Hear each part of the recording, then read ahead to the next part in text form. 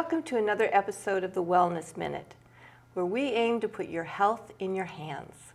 This is Dr. Rebecca Pille, and today's episode we're going to talk about a disease that affects about 300,000 children in the United States.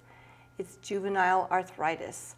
While there's no cure for this disease, early diagnosis and treatment can help prevent joint damage. Today we have Dr. Aminah Keats, a local naturopathic doctor, here with us to talk about the naturopathic treatments for this disease. Thank you for joining us today, Dr. Keats. Thank you for having me. You know, when I think about arthritis, what comes to mind are people who are getting older in their years. What is juvenile arthritis? So juvenile arthritis is a chronic condition and it affects children from infant age all the way through teenage years and it's actually the most commonly diagnosed type of arthritis in children. It's considered an autoimmune disease and it also has an inflammatory component and it's actually a, a, a large umbrella with six different subtypes underneath that larger juvenile arthritis category. Um, now, the, the subtypes are based on the, the presentation. So, for example, how many joints are involved? Is there skin involvement? Um, is there um, inflammation to different organs or parts of the body like the heart or the lungs or the eyes? And so taking that all into account is the way that the, the particular subtypes are diagnosed. Wow. Well, what causes juvenile arthritis? You know, another name for juvenile arthritis is juvenile idiopathic arthritis, or idiopathic meaning that the, the origin is unknown. So long story short, the cause of juvenile arthritis is unknown.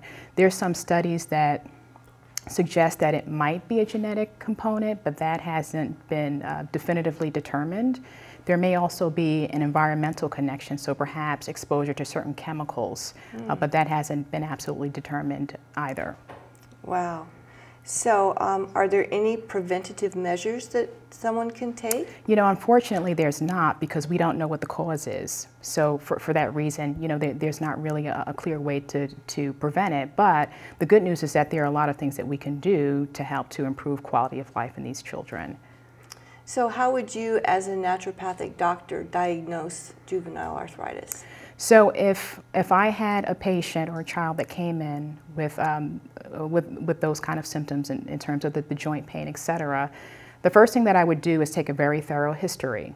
Uh, the thing with juvenile arthritis is that it's a diagnosis of exclusion, meaning that there's not a definitive test that you can take to say, boom, you have juvenile arthritis. So taking a very detailed history is important.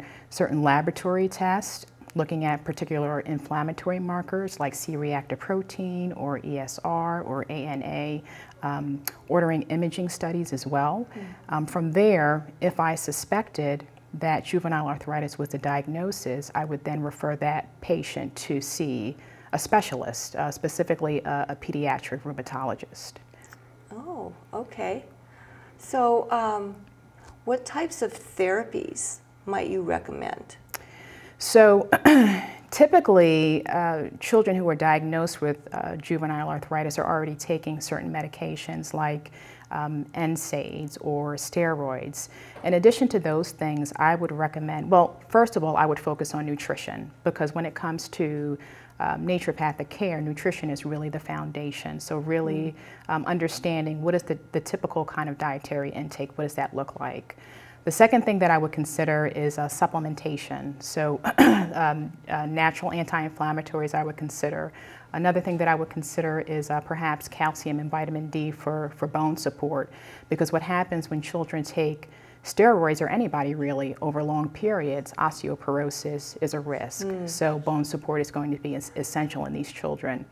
Um, some other things that I would consider would be basic lifestyle kind of factors like sleep hygiene or even um, regular exercise. Okay, so you, you talked about food as medicine. Yes.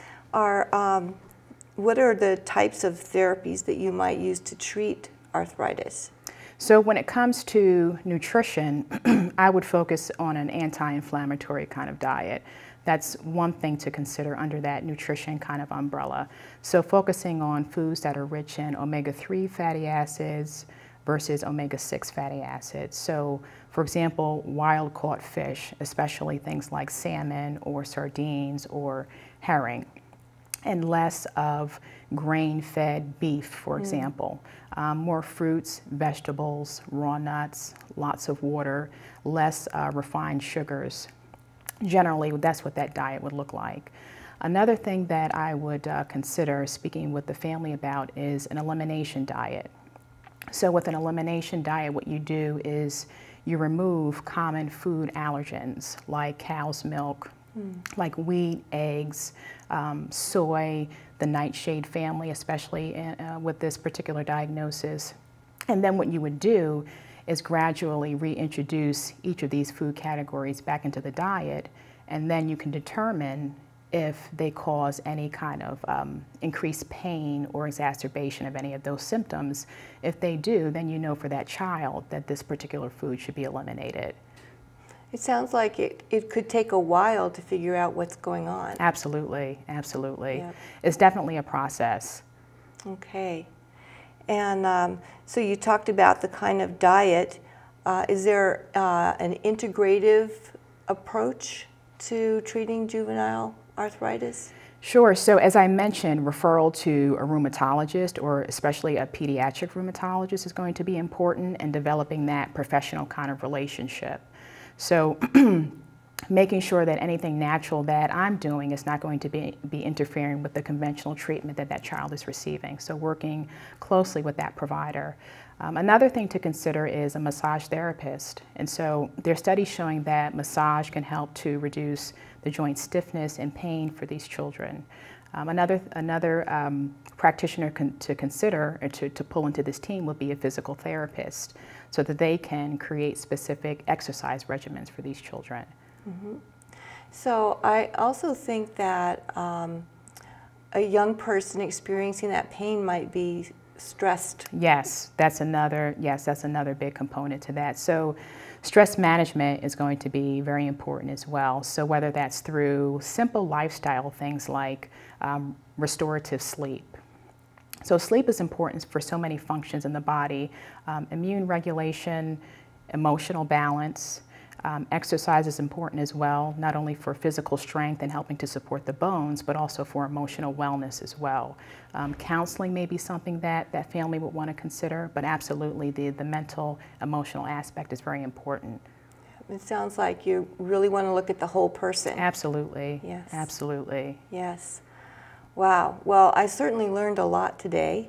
Do you have any final words for folks out there that um, are searching for a solution to pain their child's experiencing due to arthritis? Sure. So I would I would uh, recommend, highly recommend that people who are out there that are interested in a, in a, more integrative approach as opposed to just the conventional medicine reach out and find a licensed naturopathic doctor in the area so that they can add additional kind of therapies to their plan to improve the quality of life for that child.